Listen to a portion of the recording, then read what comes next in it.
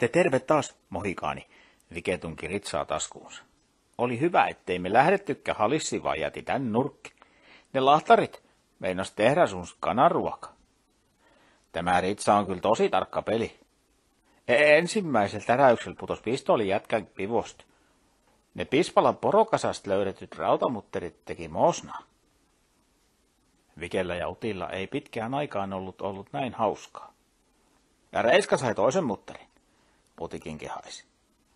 Sitä mä vähän pelkäsin, kun sä olit niin lähellä Reiska, kun mä venytin täysille. Mut hyvin se kävi, kun se ahteri oli suurempi kuin miksturapullo. Nyt täytyy vaan katsoa, ettei näytä itseäsi. Ne ampu varmasti, jos ne näkivät. Kiitos pojat, että taas jelppasitte mut. Antti alkoi hitaasti irtautua pojista. Mun täytyy nyt lähteä kotti. Hei vaan pojat. Kamarin verhot näyttivät liikahtavan Antin lähestyessä ulkoovea. Pojat eivät ihmeissään katsomaan Antin jälkeen. Kuinka se noin lähti? Olisihan ollut paljon juttua tällaisen tempun jälkeen. Antin hävitessä ovesta sisään, pojatkin poistuivat hiljalleen. Päästyään keittiön, Antti veti povestaan paperit. Kemppainen suostui. Antin kasvot loistivat. Parin päivän päästä mä vien sit nämä takaisin. Santtu otti kiihtyneenä passit käteensä ja alkoi tarkastella niitä. Kemppainen oli hieman vanhempi, mutta samankokoinen. Parrakkaita miehiä kumpikin. Jos salmilaiva lähtisi illalla kello seitsemän, siihen olisi vielä runsaasti aikaa. Nyt vain odotettaisiin äitiä kotiin. 25. luku.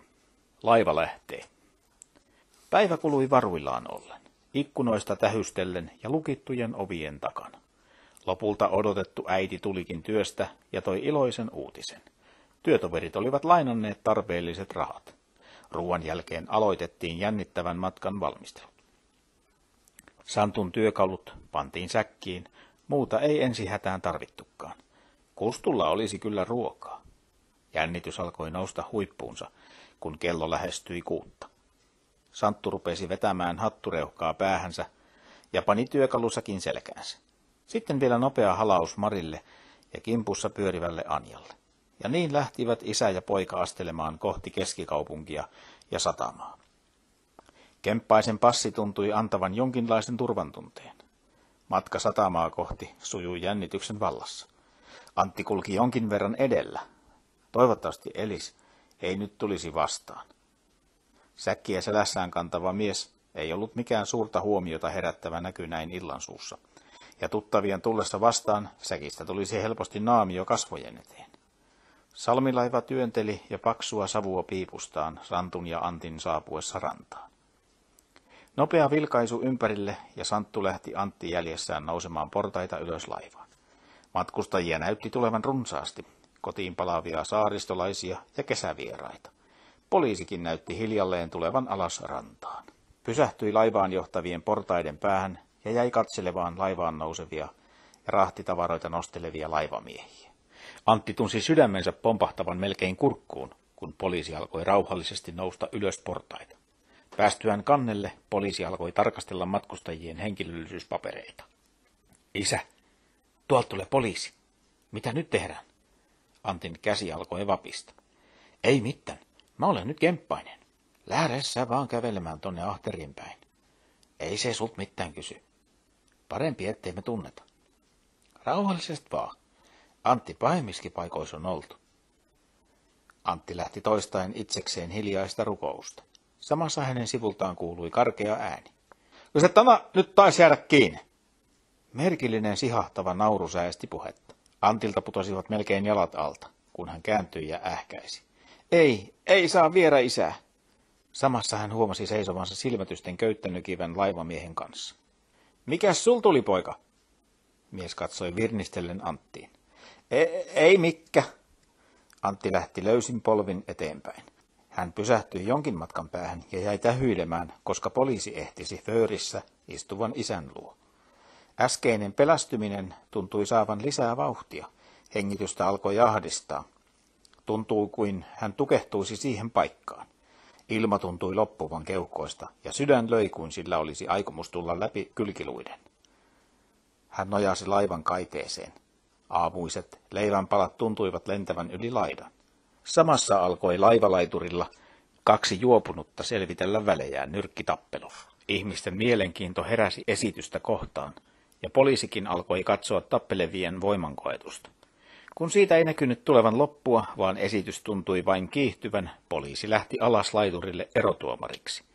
Siinä olikin poliisilla työmaa, sillä kaverit olivat raavaita miehiä, eikä kunnioitus esivaltaa kohtaan tuntunut kiinnostavan miehiä. Samaan aikaan laivamiehet alkoivat irrottaa kiinnitysköysiä laiturin pollareista ja vetää irtonaista lankonkia ylös laivaan. Kättään heiluttaen juoksi vielä laiturille suojeluskuntapukuun pukeutunut pienikokoinen mies. Vyöllään Mauser-pistooli kotelossa ja matkalaukku kädessään. Miehellä oli Antista pienempi poika mukanaan. Viime tipassa he pääsivät laivaan. Laivan koneet alkoivat jyskyttää, ja valkea saaristolaiva alkoi hitaasti irtaantua rannasta. Jumala, Jumala, sä jelppasit taas. Kiitos kauhiasta, Antti huohti ja pyyhkäisi tipat silmistään. Leivänpurut tuntuivat jo pysyvän sisällä, kun hän lähti isän luo. Kävi tuuri. Isä katsoi vapautuneesti Anttiin. Isä, se ei ollut tuuri. Se oli Jumalan varjelus. Usko vaan. Antti istui isänsä viereen. No, jos sä uskot niin, niin pidä poika uskos. Mä en tahdo sitä horjuttaa. Ahterista päin näytti kippari perivän matkustajilta maksun. Suojeluskuntalaisen mukana tullut poika nojasi kaiteeseen, katsellen keulan työntämiä vaahtopäitä. Antti havahtui. Sehän oli Ertsu. Samassa poika kääntyi ja näki Antti. Katsoi hetken kuin varmistuakseen ja tuli sitten kohti. Hei, poika sanoi. Oletko vielä ollut halisis lipomas? Olen mä vähän. Antti lähti kävelemään konehuonetta kohti. Poika seurasi hänen jäljessään. Äkkiä kuului isä Ertsun käskevä ääni. Edward, tule heti tänne. Etkö muista, mitä isä sinulle sanoi? Sinä et saa heti tehdä tuttavuutta jokaisen räsymikon kanssa. Sinä opit vain kaikenlaista katupoikien tapoja. Isä, Ertsu pani vastaan. Mä tunnen tämän pojan. Tule heti tänne. Muista sukusi oppinaisuus ja vanhat perinteet. Oletko unohtanut ne, Edward? Poika hymyili vaisusti ja lähti tottelevaisesti isänsä viereen istumaan. Matkustajat katselivat syrjäsilmin sivistynyttä suojeluskuntalaista ja hänen poikaansa. Mies alkoi avata kapsäkkiään ja otti sieltä voileipäpaketin, vilkaisten silloin tällöin arvostellen lähellä istuvaa hiljaista, reuhkahattuista, työmiehen tapaista matkustajaa. Sitten hän ojensi hyvältä näyttävän voileivän pojalleen. Muista Edward syödä se voileipä kokonaan. Et saa heittää sitä mereen. Sinun on kasvattava suureksi, että jaksat pitää vanhaa perhekartanoamme hallinnassasi ja hoitaa sitä hyvin. Mies katsoi halveksivasti punikkia muistuttavaa reuhkahattuista matkustajaa. Edward alkoi vastahakoisesti natustella suurta voileipäänsä. Isä kääntyi seliin poikaansa. Hän otti samalla povitaskustaan litteän pullon ja ruokaryypyt valahtivat sujuvasti kurkkuun. Kevyt ähkäisy, korkki kiinni ja sitten voileipien kimppuun. Koneet jyskyttivät tasaista tahtiaan Antin kävellessä ja pitäessä valppaasti silmällä Ertsun isää. Olisiko tuolla miehellä ollut henkilöllisyyspaperien tarkastusoikeus? Tuon tapaisia miehiä heillä kyllä oli käynyt etsimässä aseita. Konehuoneesta löyhkäsi kannelle rasvaista, kuumaa ilmaa. Tuo oli jännittävä ammatti. Olisikohan tuollaiseen hommaan joskus mahdollista päästä? Antti kurkisteli jo helpottuneena konehuoneeseen. Samassa joku töytäisi häntä selkään. Hei, otaks voileivän? Ertsu seisoi siinä voileipä kädessään. Isä lähti juttelemaan ystävänsä kanssa, ja mä lähdin livahkaan. Antti katsoi hämillään poikaa ja voileipää. Kiitos, hän sanoi. Koisat omot annat? Isä yrittää aina syöttää mua väkisin, että minusta kasvaisi suuri mies. Ertsu katsoi ihailevasti isokokoista luisevaa pelastajaansa. Onko sun isäs suuri mies? Hän kysyi. Tavallisen suur. Antti haukkasi ahmien voileipää. Onko hän rosvo? Punikki. Ei hän ol mikkä rosvo. Antin leuvat jauhoivat lujaa. Mä haen sulle lisää. Isän matkalaukku jäi jauki. Otatko? Juu, juu, kyllä mä vaan otan. Antti jäi katselemaan hölmistyneenä Ertsun jälkeen. Hetken kuluttua Ertsu tuli takaisin kädessään voileipäpaketti. Ota nämä kaikki, hän sanoi tarkkaillen samalla toisella puolella laivaa keskustelevaa isäänsä. Mun täytyy nyt heti lähteä.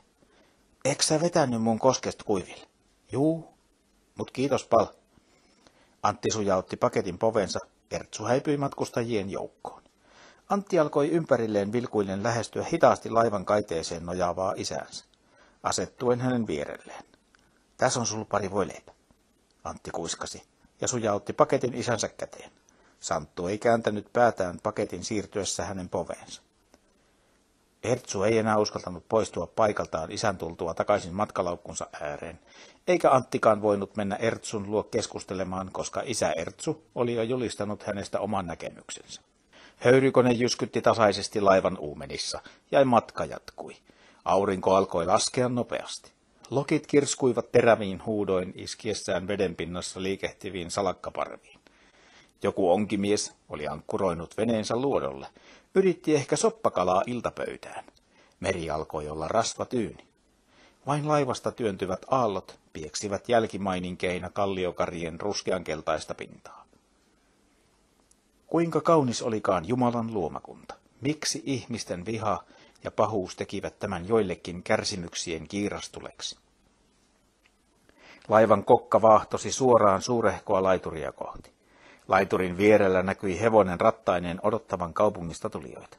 Äkkiä Ertsu alkoi vilkuttaa rannalla olevalle hevosmiehelle, ja isä Ertsu alkoi koota tavaroitaan.